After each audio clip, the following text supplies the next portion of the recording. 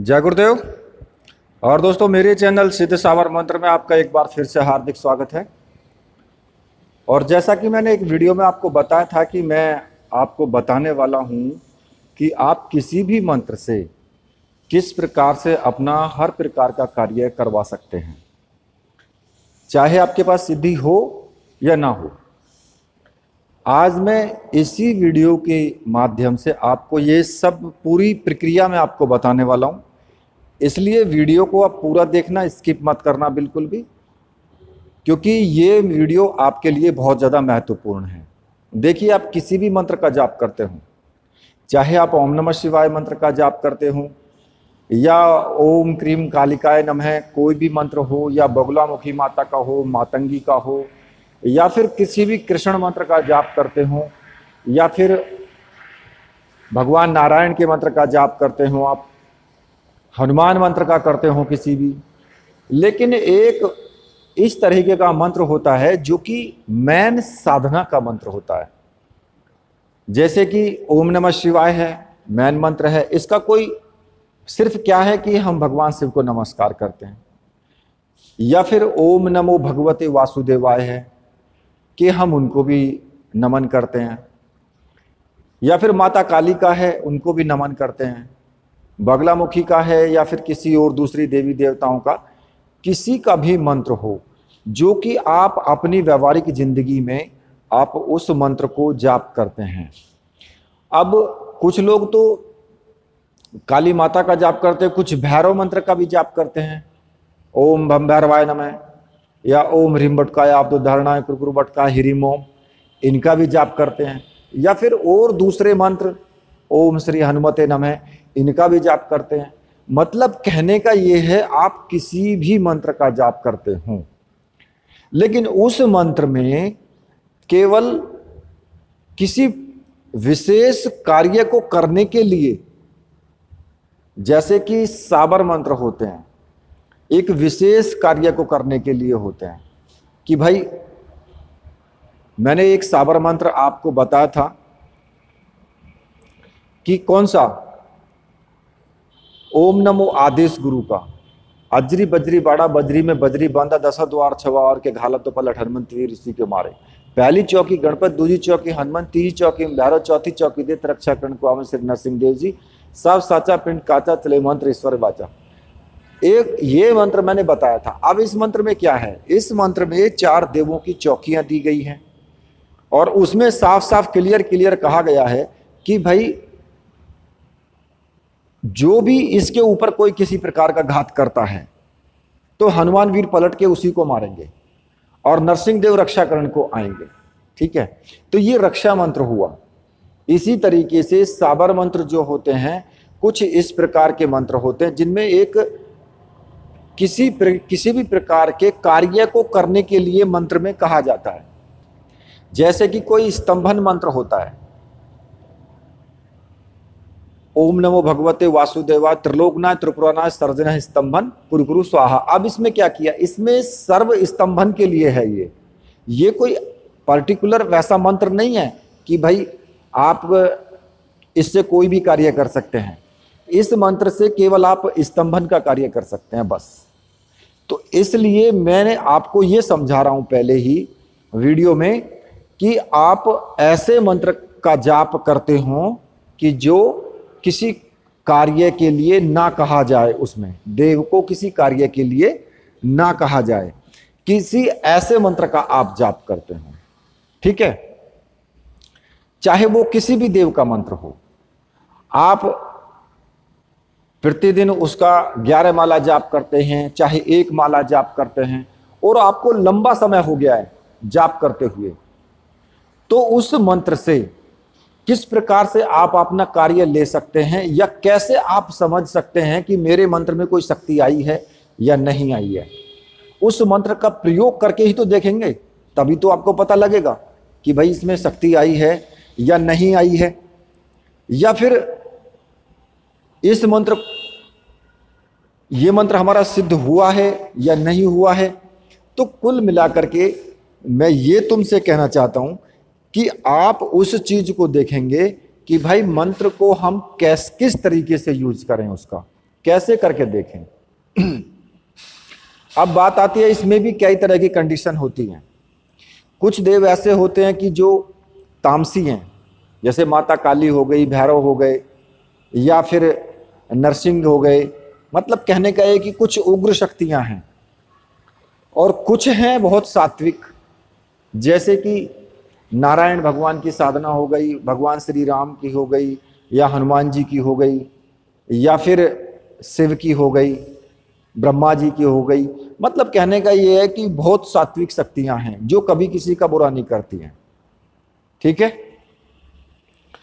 अब बात आती है कि किस मंत्र से कैसे कार्य किए जा सकते हैं। मैं पिछली वीडियो में भी बता चुका हूँ कि हमेशा सात्विक मंत्रों से आप गलत कार्य करने की कोशिश ना करें। वशीकरण किसी का कर सकते हैं।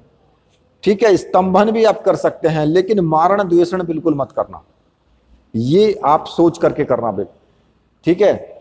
अब इसमें आपको करना क्या होगा कि आप किस तरीके से अपने मंत्र से जो आप प्रतिदिन जपते हैं, चाहे आप ग्यारह माला का जाप करें, चाहे दो माला का जाप करें, चाहे एक माला का जाप करें। लेकिन आप रोज रूटीन में हैं उसके, रोज डेली उसको जपते हैं, तब आपको क्या करना है? आप ये देखेंगे कि आपको अगर साल, दो साल, तीन साल, दस साल जपते हुए उसको हो गए हैं तो आप का मंत्र पूर्ण रूप से काम करना शुरू कर देगा। अब बात यहाँ पर एक और भी आती है कि कुछ लोगों का क्या होता है कि चार दिन मंत्र जाप किया या दस दिन मंत्र जाप कर लिया, बीच में फिर गैप हो गया। या तो किसी कारण से कहीं जाना पड़ा या उनका मन मंत्र से उब गया। साधना से उब जाता है कई लोगों का मन। अरे यार, चल छोड़, आज नहीं करते, कल करेंगे। ऐसा होता है। तो ये कब होता है? ये तब होता है जब आपकी मंत्र के अंदर पावर आनी शुरू हो जाती है और शक्ति आपकी का, शक्ति का खिंचाव आपकी तरफ़ होता है। तब ये होता है, तब शक्ति आपको हटाती है। लेकिन उस वक्त आपको दृढ़ निश्चय करके आपको मंत्र जपना चाहिए। कम से कम 41 दिन अगर आप डेली एक माला का जाप कर ले तो समझ लीजिए आपने गंगा स्नान कर लिया। ठीक है? तो ऐसे मंत्र जो इस तरीके से जाप करते हैं कि बीच बीच में गैप हो जाता है तो उन मंत्रों में शक्ति बहुत कम होती है। उनमें शक्ति पूर्ण रूप से नहीं आ पाती है। और जो लगातार करते हैं, उनमें शक्ति पूर्ण रूप से आ जाती है। तो अब आपको क्या करना है? देखिए इससे साधना में संकल्प मैन होता है। जैसे आप गुरु पूजन रोज करते हैं, वैसे ही करेंगे। जिस तरीके से आप मंत्र जाप करते हैं, वैसे ही करेंगे। लेकिन बस आपको करना क्या है? आपको एक तो ये देखना है कि भाई ये किस देव का मंत्र है? इससे हम क्या कार्य कर सकते हैं?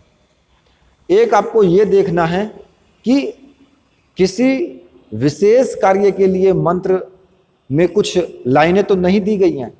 अगर ऐसा है तो सिर्फ़ आप, उससे सिर्फ़ वही कार्य हो सकता है जो मंत्र के अंदर उन लाइनों में दिया गया है।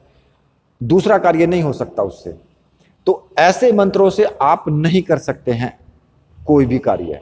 उनसे सिर्फ़ वही कार्य होंगे। अब दूसरी बात यह आती है कि सात्विक मंत्र जो हैं, उनसे आप मोहन, वशीकरण ये सब कर सकते हैं, लेकिन आपको फिर उसका गलत इस्तेमाल नहीं करना है। ठीक है ना उस मंत्र का? आप अगर ये चाहते हैं कि किसी के दुख दूर हो जाएँ, उसके लिए भी आप मंत्र जाप कर सकते हैं।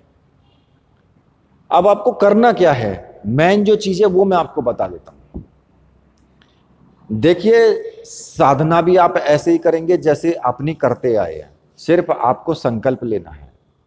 संकल्प में आपको हाथ में जल लेकर के सिर्फ़ बोलना है कि मैं अपना नाम बोलेंगे, अपने पिता का नाम, अपना गोत्र फलानी जगह का निवासी। मैं अपने इस कार्य के लिए अब अपना कार्य बीच में बोलेंगे कि मान लिया किसी के ऊपर कोई प्रेत लगा है या किसी के कोई बीमारी लगी है कि उसके निवारण के लिए या मान लिया कि घर में कोई परेशानी है, झगड़े फसाद चल रहे हैं कि मेरे घर में जो द्वेषण झगड़े फसाद चल रहे हैं उन सभी के निवारण के लिए सब में, आपस में परस्पर नम्रता और प्रेम का व्यवहार रहे के निवारण के लिए। अब मतलब मतलब कहने का यह है कि आपको उसमें बोलना पड़ेगा कि आप किस कार्य के प्रयोजन ये कर रहे हैं मंत्र जाप और जब आप अपना कार्य बोल लें तो उसमें फिर आपको बाद में बोलना है कि इस कार्य के निवारण के लिए मैं प्रतिदिन इतनी माला का जाप मतलब कि कितनी? पाँच, दस, ग्यारह, इक्कीस, जो भी आपकी इच्छा है। इतनी माला का जाप इतने दिन करूँगा। ग्यारह दिन करूँगा, इक्कीस दिन करूँगा, इकतीस दिन करूँगा। और इसमें मुझे पूर्ण रूप से सफलता मिलनी चाहिए। इतना कह करके वो जल पृथ्वी पर छोड़ दें बस। और फिर अपने मन में आँख बंद करके विचार करें, जो आपका कार्य है उसके बारे में। कि आपका कार्य पूर्ण सफलता के साथ हो रहा है और उसमें आपको सफलता मिल रही है। ऐसी भावना मन में लाते हुए उस देव का या देवी का, जो भी जिसकी भी आप जाप करते हैं, मंत्र जाप करते हैं, उसको ध्यान में रख करके और मंत्र जाप करना शुरू कर दें। लेकिन साधना में ऐसा नहीं है कि शिव का मंत्र जाप कर रहे हैं तो रुद्राक्ष की माला ना लेकर के तुलसी की माला ले ली। देखिए, इन सब चीज़ों का भी ध्यान रखना पड़ता है। कि जिस देव के लिए जो माला ली जाती है या जिससे उसका मंत्र जाप किया जाता है तो आप उसी का विधान है तो उसी से करें। ठीक है? बाकी आप सारी चीज़ें कर सकते हैं, पुष्प चढ़ा सकते हैं, टीका लगा सकते हैं, भोग लगा सकते हैं, वो सब चीज़ें आप साधना में इसमें कर सकते हैं। लेकिन आपको उतने ही दिन साधना करनी होगी जितने दिन का आप संकल्प लेंगे। ठीक है? अब ये संकल्प जो आपने ले लिया और जब आपकी साधना पूरी हो जाएगी, उसके कुछ दिनों के बाद आप देखेंगे कि वो कार्य आपका हंड्रेड परसेंट पूरा होगा। लेकिन उतनी ही तेज़ी के साथ वो कार्य होगा जितना आपके मंत्र में शक्ति है। अब वो आपके ऊपर निर्भर करता है कि आपने कितने मंत्र का जाप किया है पहले या कितनी साधना आपने की है। अगर आपने कम मंत्रों का जाप, कम साधना की है तो आपके मंत्र का प्रभाव भी कम होगा तो इसलिए कार्य जो है धीमा होगा और लेट होगा। अगर आपने बहुत तीव्रता के साथ मंत्र का प्रभाव प्रभाव है आपके मंत्र का, बहुत ज़्यादा साधना की है तो मंत्र का प्रभाव जो है वो तीव्र होगा और बहुत जल्दी होगा। हालाँकि टाइम तो फिर भी लगता है। दस दिन, बीस दिन, महीना, तब भी टाइम लगता है। लेकिन प्रभाव ज़रूर होगा और हंड्रेड परसेंट होगा ये। लेकिन इसमें जो आप मंत्र जाप करेंगे, वो उसी तरीके से करना होगा कि भाई सुबह को करते हैं या फिर शाम को करते हैं, किसी भी वक्त आप कर सकते हैं। किसी भी वक्त केवल मंत्र जाप। और वो संकल्प लेकर के जो आपका कार्य है। ठीक है? लेकिन इस बात का ध्यान ज़रूर रखें कि जो आप जिस कार्य के लिए आप मंत्र जाप कर रहे हैं, वो संपूर्ण करें। और इस बात का भी आपको ध्यान रखना है कि उससे गलत कार्य के लिए उस मंत्र का प्रयोग ना करें। वरना परिणाम फिर वो आपको उसमें भी भुगतने पड़ेंगे। परिणाम तो गलत कार्य का गलत नतीजा ये तो भुगतना ही पड़ेगा फिर, अगर आप गलत करेंगे तो। क्योंकि ना तो सात्विक शक्ति गलत करना चाहती है और ना ही तामसिक शक्ति गलत करना चाहती है किसी का। तो इसलिए ये ध्यान में अवश्य रखना कि जो भी आप कार्य करें, चाहे आप किसी और का कार्य कर रहे हैं, पैसे लेकर के भी आप किसी और दूसरे का कार्य कर रहे हैं तो जो आपको पैसे दे रहा है ना, उस, उसको मतलब नहीं है, उसको कुछ नहीं है। लेकिन जो आप कर रहे हैं, जो व्यक्ति कर रहा है, फ़र्क उसको पड़ेगा। उसके ऊपर उसका सारा प्रभाव आएगा। जो वापसी का जो उल्टा प्रभाव आएगा, वो आपके ऊपर ही आएगा।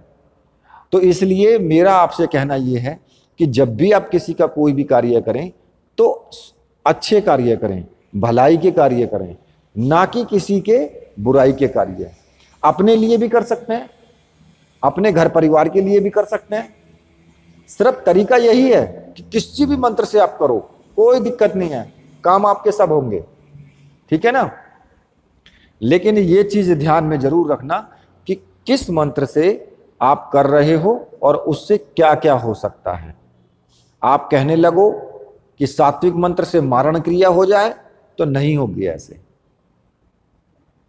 ठीक है ना? तो इसलिए इन चीज़ों का ध्यान रखना कि सात्विक मंत्रों से हमेशा सात्विक कार्य ही करना। ठीक है? इसी के साथ अब मैं वीडियो को यहीं पर समाप्त करता हूँ। तो मेरे साथ बोलिए बोलिए वीर बजरंग बली हनुमान जी महाराज की जय। बोलिए मेरे परमहंस गुरुदेव की जय।